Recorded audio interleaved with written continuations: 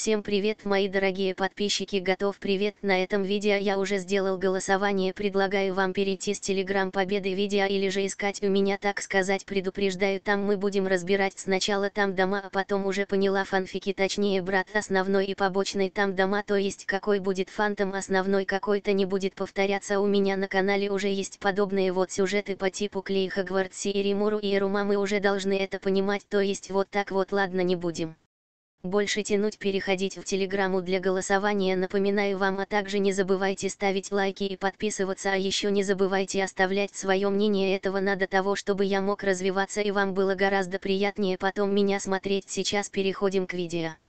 Римуру от первого лица.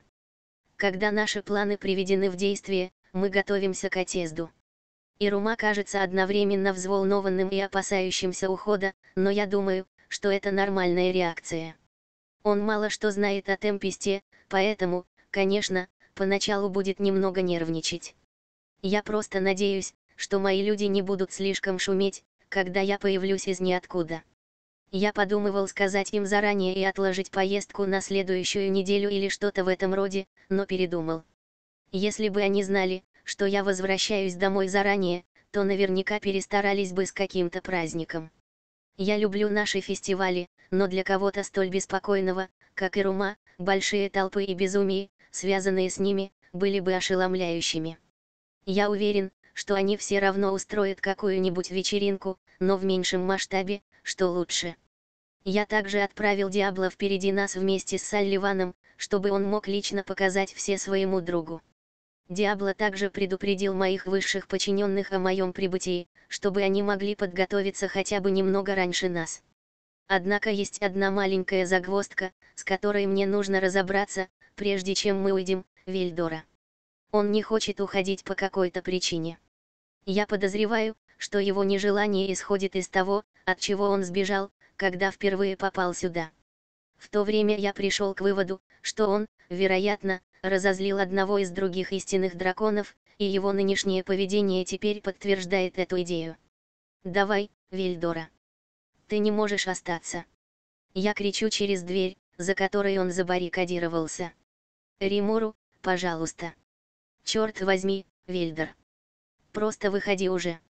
Я не хочу заставлять тебя это делать, но я не могу оставить тебя здесь одного. Тебе тоже нужно посетить лабиринт, чтобы выполнить свою работу. Я уверен, что сейчас у этой штуки кончаются магикулы. Энно Римуру.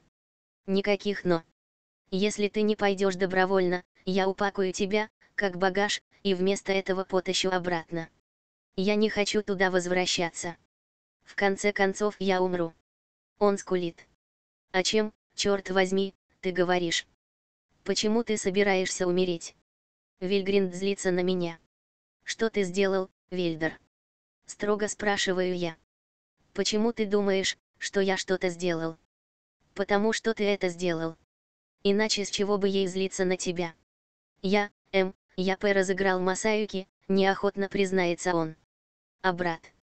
Да, он как-то разыграл несколько наивного мальчика игрушку своей старшей сестры. Когда дело доходит до Масаюки, она переходит на совершенно другой уровень чрезмерной защиты, и кажется, что Вельдер вывел ее из себя, связавшись с ее мужчиной.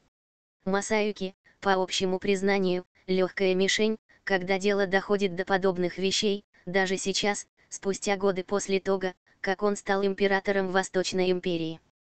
Когда-то я немного поддразнивал его, но мне приходилось воздерживаться от этого с тех пор, как его нашел Вильгринд.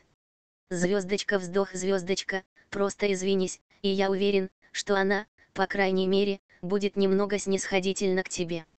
Просто радуйся, что на этот раз ты разозлил ее, а не Велзарда. Разве я не могу просто остаться здесь и почитать мангу? Обещаю, я не доставлю никаких проблем. В этот момент меня серьезно раздражает его ерунда. Если так пойдет и дальше, мне придется лишить его привилегий на десерт и мангу. Вы хотите, чтобы я помог убедить вашего глупого старшего брата, хозяин? Конечно, Сиэль. Выруби себя. Я немного сомневаюсь, позволять ли Сиэлю взять на себя управление в этом случае, но это облегчит мне задачу. Вельдора боится Сиэля почти так же, как и своих старших сестер, так что вытащить ее наружу – хороший способ переубедить его в некоторых случаях. Ирумапов. Римуру пошел за Вельдаром, который, по-видимому, заперся в ванной. Я слышал, как она кричала на него в течение нескольких минут, так что я слежу за Суматохой, чтобы увидеть, что именно занимает так много времени. Мы с дедушкой уже готовы идти, так что я хотел бы поскорее отправиться в путь. Я прихожу как раз вовремя, чтобы увидеть, как глаза Римуру меняют цвет. Похоже, Сиэль на минуту берет на себя управление, вероятно, чтобы помочь Вельдоре выйти. Внезапно что-то появляется в руке Сиэля, это похоже на закрытый бумажный веер. Хотя есть что-то, тревожное, в этом. Кажется, вокруг него зловещее свечение, и я боюсь его по причинам, которых не совсем понимаю. Затем она наклоняется вперед, так что ее лицо оказывается прямо напротив двери, так близко, что ее губы почти касаются ее. «Выходи сюда, Вельдер Темпест, или я применю наказание». Я слышу ровный, бесстрастный голос Сиэля, холодно угрожающий ему. Я слышу пронзительное «Юп». Выйти из-за двери, услышав слова Сиэля. «Эссиэль». Вельдер кричит в ужасе. «Да». Содействуй требованиям моего мастера и покажи себя. Теперь она ритмично постукивает веером по ладони другой руки в угрожающей манере. Отлично. Дверь медленно открывается, и неохотно выходит угрюмый Вельдер. Но как только он замечает, что в руке Сиэля, он делает шаг назад, чтобы избежать того, что будет дальше. Однако он недостаточно быстр. Вельдора ударили странным оружием по макушке, прежде чем он смог сбежать, или, по крайней мере, я так думаю. Это было слишком быстро для меня, чтобы понять, но, судя по тому, что Вельдер сейчас держит макушку обеими руками и морщится, в сочетании с вытянутой рукой Сиэля, держащего веер, я могу собрать кусочки вместе. Зачем это было? Я сделал то, что ты сказал. Ты потратил впустую время моего мастера своим идиотизмом, поэтому я выполнил необходимые последствия этого выбора, заявляет Сиэль так же холодно, как обычно. Хотя я вижу на ее губах небольшую удовлетворенную ухмылку. После того, как Сиэль высказала свое мнение, ее малиновые глаза снова стали золотыми. Вельдер вздохнул с облегчением. «Зачем ты выпустил на меня этого дьявола-садиста, Римуру?» Вельдер ворчит, все еще потирая то место, где его ударил Сиэль. «Если бы ты меня послушался, мне бы не пришлось». Римуру ругается. Она просто должна была использовать эту ужасную штуку и на мне, моя голова все еще раскалывается от этого. Ха-ха, да ладно, Вильдора. Она не так сильно ударила тебя этим. Как насчет того, чтобы я попытался урезонить Вильгринд за тебя, чтобы она не причиняла тебе слишком большой боли, раз уж ты уже получил какое-то наказание, хорошо. Римуру посмеивается, ведя Вельдора по коридору за его руку, которую она держит. Вельдор не выглядит взволнованным ситуацией, но все равно подчиняется.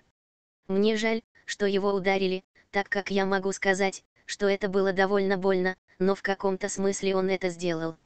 Итак, мы уже уходим. Я спрашиваю. Пока у вас все готово, у нас все готово. Что это был за веер, который у тебя был минуту назад? А, это. Спрашивает она, показывая мне предмет. Это просто бумажный веер, ничего особенного. Веер больше не имеет того странного свечения, теперь он просто выглядит как любой другой бумажный веер, точно так, как только что объяснил Римуру. Почему тогда это причинило боль Вильдоре? Разве он не такой сильный, как ты? Ну, Сиэль обернул мою магическую силу и применил к ней истощающий эффект. Неприятно, когда тебя бьют, даже для истинных драконов.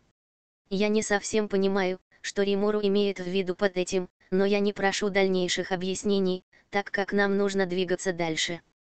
Прежде чем мы уходим, Римуру принимает более молодой вид. Она сказала, что обычно носит что-то меньшее, чем 14-летняя внешность, которую она берет здесь, чтобы соответствовать моему возрасту, так что я не слишком удивлен. Мне нужно сказать вам кое-что. Ожидайте, что люди будут, ГМ, как бы это выразиться. Чрезмерно, когда дело доходит до их реакции на мое появление.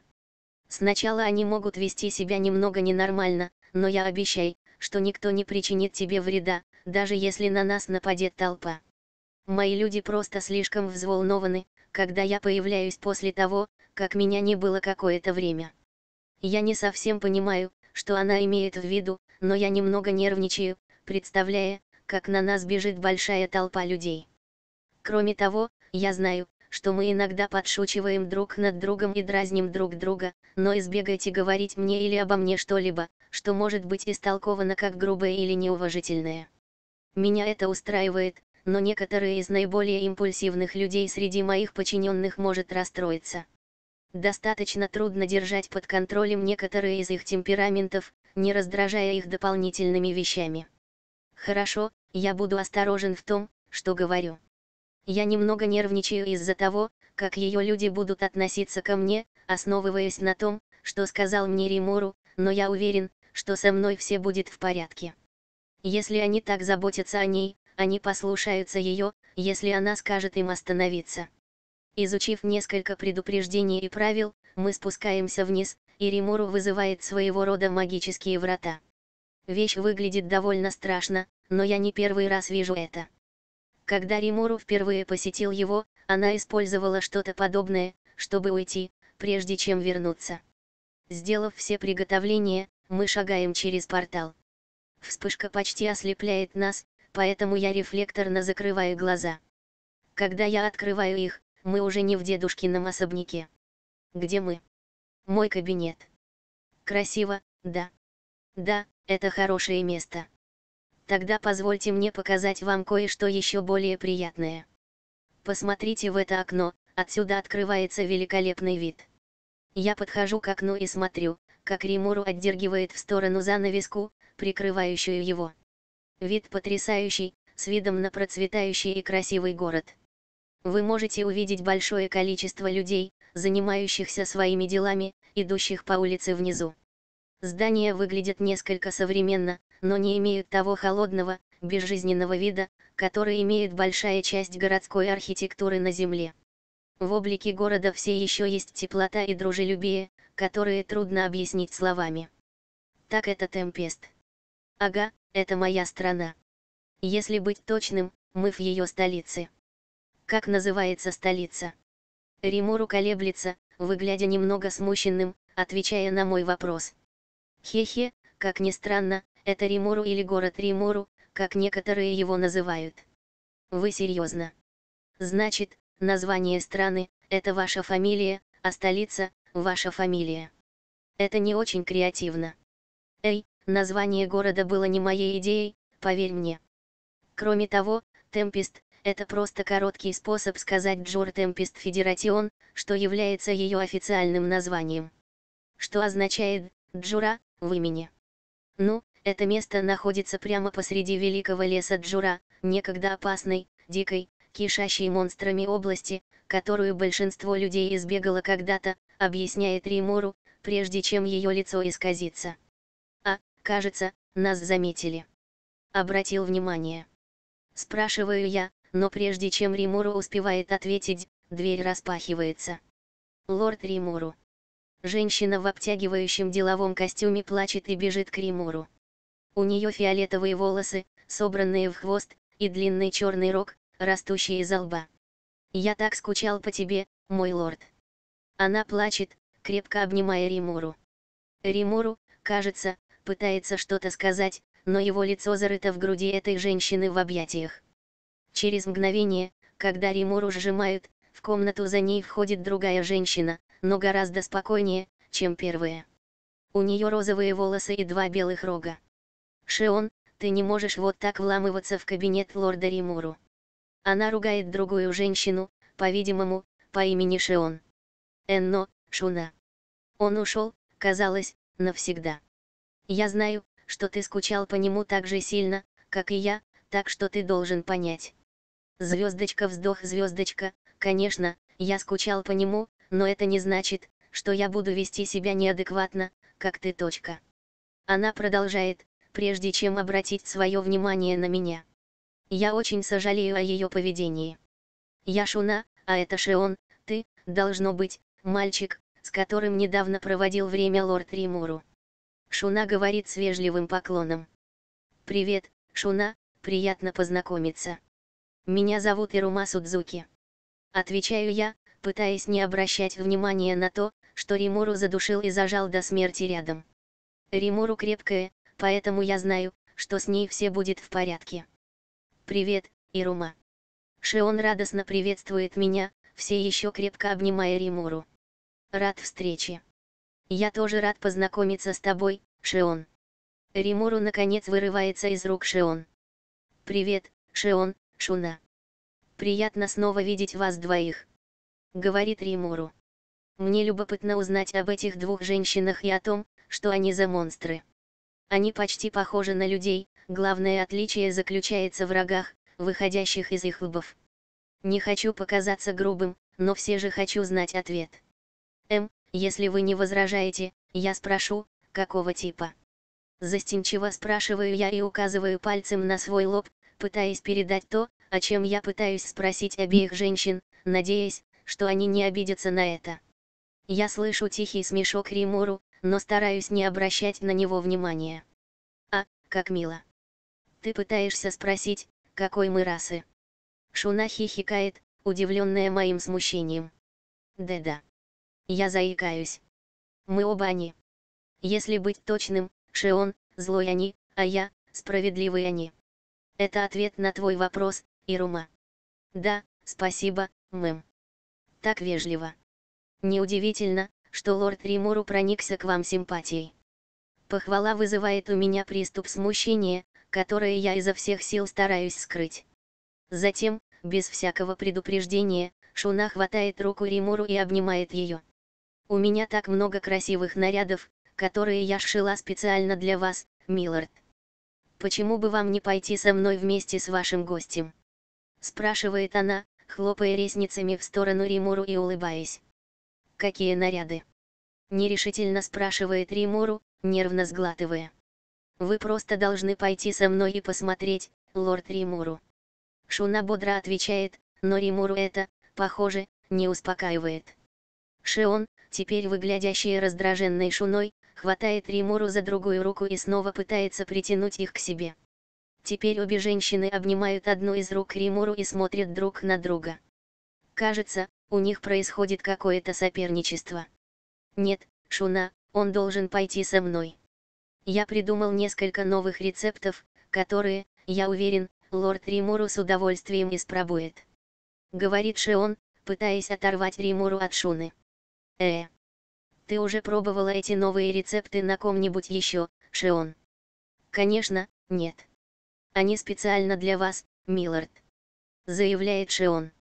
Гри-е-е-е-е, говорит Римуру с натянутой улыбкой. Ну, я думаю, он предпочел бы примерить все платья, над которыми я так усердно работала после его отъезда. Говорит Шуна, дергая Римуру за другую руку, чтобы увести его от Шион. Нет, я уверен, что лорд Римуру предпочел бы попробовать особый торт, который я для него приготовила. Настаивает Шион, снова дергая Римуру за руку. Я беспомощно наблюдаю, как две женщины спорят и дерутся из-за Римуру.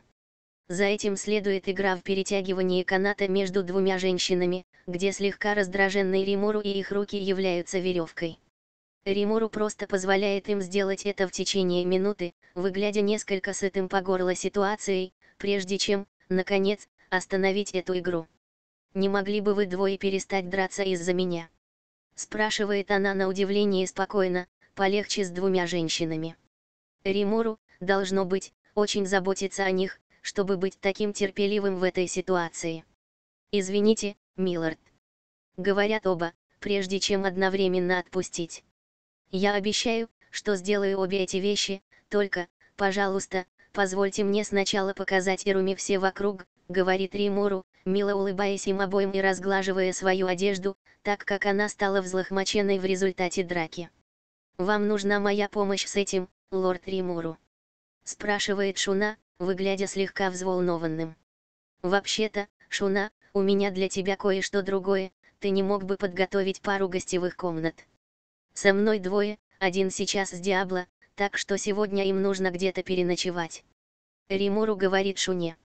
А, и вы все знаете, что я встречусь с ними позже сегодня за ужином или чем-то еще, я хочу сначала показать Ируми город. Я позабочусь об этом для вас, мой лорд. Спасибо, Шуна. Ты всегда такой надежный. Шуна слегка краснеет от слов Римуру, отчего ее щеки становятся такими же, как волосы и глаза. Поскольку вы проводите большую экскурсию для этого мальчика, как ваш секретарь. Шион начинает спрашивать. Ты хочешь нести меня, пока я покажу ему темпест, не так ли, Шион? Спрашивает Римуру с понимающей улыбкой. Шион сияет и с энтузиазмом кивает. Затем Римуру, тает, в своей форме слизи, прежде чем Шион взволнованно поднимает его с пола. Леди выглядит очень счастливой, что по какой-то причине держит Римуру на руках. Я не совсем понимаю, почему она так взволнована такой простой вещью. Мы выходим из офиса, проходя по пути через несколько больших коридоров. Мы определенно находимся в каком-то правительственном здании, что имеет смысл. Здесь главный Римуру, так что, конечно же, ее офис должен быть где-то важным. Выйдя, мы выходим на шумную улицу, которую я видел из окна кабинета Римуру. Шион все еще несет Римуру, напивая себе под нос и выглядя счастливой, как пирог. Как будто она думает, что это ее цель в жизни или что-то в этом роде, с каким энтузиазмом она показывает. «Так ты секретарь Римуру?» Спрашиваю я, пытаясь начать разговор. Первый секретарь и телохранитель. Гордо говорит она с самодовольным выражением лица. Тебе действительно нужен телохранитель, Римуру. Ты суперсильный. Ну, это не то, что мне обязательно нужно, но всегда приятно, когда кто-то прикрывает твою спину, верно? Да, я думаю, я понял, откуда вы, отвечаю я. Было очень приятно, когда Римуру присматривал за моей спиной. Кроме того, это делает Шион счастливой, верно, Шион? Спрашивает Римуру, глядя на женщину снизу вверх. Трудно сказать, когда она находится в этой форме, но я видел, как ее круглое тело двигалось, словно глядя вверх на лицо Шион. Да, лорд Римуру быть твоим телохранителем и служить тебе, цель моей жизни. Говорит Шион, сжимая слизистое тело Римуру в объятиях и трется о него щекой. Меня немного смущает то, насколько яростно она, служит, Римуру, но я думаю, именно это имел в виду Римуру, когда описал своих людей как, одержимых, ею и, чрезмерных, в своих реакциях. Несмотря на то, что на улице людно, все уступают нам дорогу все взгляды устремлены на нас, что, мягко говоря, нервирует. Я могу сказать, что многим из них любопытно, кто я такой, что имеет смысл, учитывая, что я случайно прогуливаюсь с лидером этой страны и их телохранителем. Люди, кажется, очень взволнованы, увидев, что Римуру тоже кричит и машет рукой, сходит с ума только при виде маленькой слизи. Тем не менее, она совсем не выглядит обеспокоенной этим, просто машет в ответ, усиком слизи. Это довольно забавно, когда смотришь на эту ситуацию, не зная, кто и что такое Римуру на самом деле. Римуру чрезвычайно могущественен и является основателем и лидером этого места, так что вполне логично, что люди здесь любят ее. Итак, Римуру, ты что, все время так ведешь себя? Иногда. Кажется, моим людям нравится нести меня, и я не возражаю против того, чтобы не идти пешком. Итак, снова проявляется ленивая сторона Римуру. Впрочем, мне лучше промолчать, когда рядом Шион. Римуру предупредил меня, чтобы я не говорил ничего грубого, даже если это просто шутка. Я имею в виду, посмотрите на это массивное оружие, которое Шион носит с собой, она должна быть безумно сильной, верно? Я бы не хотел ее злить. Куда вы хотите отправиться в первую очередь, мой лорд? спрашивает Шион, широко улыбаясь. Но прежде чем Римуру успевает ответить, Шион останавливается как выкопанная, и они оба, кажется, встревожены тем, что впереди что-то происходит. Решетка как это раздражает, решетка бормочет Римуру. Что случилось? Спрашиваю я, все еще не понимая, что происходит. Похоже, у нас впереди возмутитель спокойствия. Иногда они заходят в мою страну, думая, что они крутые говнюки и вызывают большой переполох. Говорит Римуру, указывая вперед. Как только угроза видна, Римуру продолжает. Оставайся здесь, Ирума. Я не хочу подвергать тебя опасности. Даже если этот чувак слабее меня, он, вероятно, сможет уничтожить тебя одним ударом. Нарушитель спокойствия, странный, он выглядит как смесь человека и нескольких видов животных. Ах, значит, повелитель демонов наконец-то вернулся. Я ждал встречи с тобой в бою. Кричит он скрипучим голосом. Этого не будет, раздраженно отвечает Римуру. Лорд Римуру, вы хотите, чтобы я позаботился об этом вредителе для вас? Взволнованно спрашивает Шион. Давай, но дай мне одну минуту, чтобы я сначала попытался урезонить его. Ничего не делай, пока я не сообщу тебе об этом, говорит Римуру Шион, прежде чем обратиться к существу. Если ты сейчас остановишься, ты сможешь уйти, не поранившись.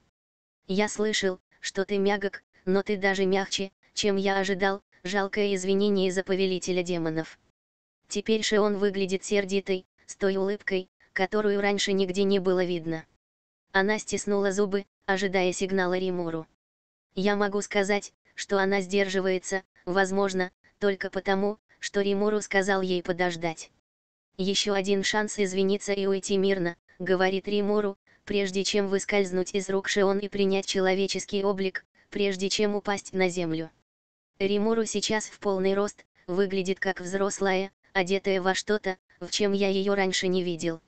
Он элегантный и царственный, только так его можно описать. Длинные рукава и брюки, в основном черные, с белыми деталями, такими как полоса посередине рубашки. Также есть золотые акценты, а также длинная струящаяся белая накидка. На этот раз воздух, который она испускает, не мрачный, злой или злой, но определенно пугающий. Выражение лица Римуру безмятежно, что я не часто вижу у нее. Учитывая, насколько тупицей и шутницей может быть Римуру, странно видеть, как она действует с такой зрелостью. Может, она притворяется. Она ведет себя серьезно, я знаю, по крайней мере, это. Никогда. Плачет он, стреляя в Римуру какой-то магией, которую она легко поглощает одной рукой. Теперь Шион злится на парня из-за мрачного выражения лица. Римуру вздыхает, прежде чем слегка кивнуть Шион, и женщина они начинает приближаться к существу, хватаясь за рукоять своего огромного меча. А, так ты напуганный маленький слизняк, который прячется за спиной своих подчиненных. Существо насмехается. Вовсе нет, я просто не трачу время на мусор, как ты, холодно говорит Римуру. Не забудь оставить немного для ультимы, Шион. Не убивай его. Говорит Римуру, вероятно, пытаясь удержать Шион под контролем. Кажется, она немного вспыльчива. Оставить часть чего? Борьба. Кто вообще этот Ультима? Без предупреждения Шион, кажется, исчезает в тумане, когда она бросается вперед и атакует нарушителя спокойствия. Затем следует шквал ударов, настолько быстрых, что нет времени понять, что только что произошло. В одну секунду она идет к угрозе, а в следующую Шион прижимает парня к земле, избитого и окровавленного. Шион выглядит довольной собой, удерживая его одной ногой, стоящей у него на голове. Когда она гордо стоит, к ней подходит человек. Девушка, не выглядящая старше меня, с лиловыми волосами, собранными в хвост, одетая во что-то похожее на военную форму. Шион, увидев ее, убирает ногу и возвращается к Римуру. Попытка нападения на повелителя демонов, безрассудная угроза мирным жителям, многочисленные обвинения, несанкционированное использование наступательной магии в пределах города. Я слышу, как она перечисляет то, что кажется кучей юридических терминов для преступлений, пока надевает наручники на преступника. Когда угроза нейтрализована, Римуру начинает идти вперед, жестом приглашая меня следовать за ним. Со всеми этими обвинениями, похоже, я повеселюсь с тобой, зловеще говорит девушка со зловещей ухмылкой на лице, приседая рядом с нападавшим без сознания. «Привет, Ультима», — окликает Римуру. Глаза девушки загораются, когда она слышит это, и она быстро встает. «А, лорд Римуру», — говорит она, поворачиваясь лицом к Римуру, заложив руки за спину и улыбаясь. «Мне очень жаль, что я не был здесь раньше. Римуру прерывает ее, протягивая руку, чтобы остановить ее. Все в порядке, Ультима. У нас с Шион все было под контролем. Просто позаботься об этом парне и убери его с середины улицы, хорошо. Об этом уже позаботились, лорд Римуру. Она говорит, когда двое менее похожих на людей людей, казалось бы, появляются из ниоткуда и начинают уносить нападавшего в наручниках. «А, кто это?» Спрашивает она, теперь глядя на меня. «Это Ирума, он мой друг». «Ирума». «Что ж, приятно познакомиться. Меня зовут Ультима, и я главный прокурор Темписта. Говорит она, прежде чем вопросительно взглянуть на меня. Он человек. Спрашивает она, склонив голову на бок. Римуру кивает. Чтобы дружить с лордом Римуру, ты должен быть особенным. Говорит она, мило улыбаясь. Э, спасибо, говорю я, не зная, что ответить. Хорошо, Ультима, дай мальчику немного места, усмехается Римуру, заметив, как мне неудобно. Тебе следует вернуться к тому, что ты делал. Ультима кивает и клоняется перед уходом. Клянусь, такое случается нечасто, Ирума. Вероятно, это связано с тем, что я какое-то время отсутствовал. Извини, что поставил тебя в такую напряженную ситуацию. Говорит Римуру, прежде чем вернуться в форму слизи и запрыгнуть обратно в объятия Шион. Как насчет того, чтобы пойти перекусить? Да, после всего этого я проголодался, говорю я. Значит ли это, что вы хотите попробовать мой новый рецепт торта прямо сейчас, лорд Римуру?